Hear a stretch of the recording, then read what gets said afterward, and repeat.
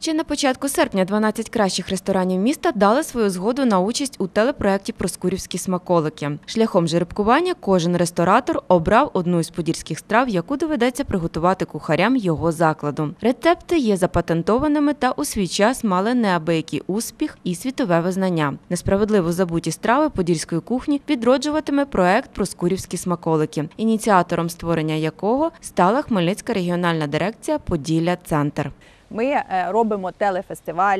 Наші глядачі дивляться, як готуються подільські страви.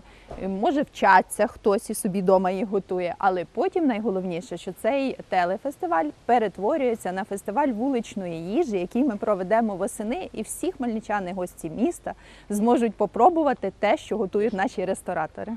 Ініціативу створення та проведення фестивалю активно підтримала Хмельницька міська рада.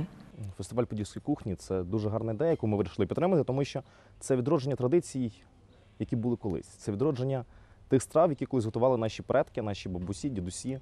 Е, Це можливість привабити туристів до обласного центру, до міста Хмельницького, в якому ми з вами проживаємо, і також продемонструвати те, що місто Хмельницьке розвивається не як лише базарне місто чи якесь там індустріальне місце, а також має купу цікавих закладів, де можна смачно скуштувати смаколики, смачно покуштувати якісь потрави, якісь перші страви, другі, треті.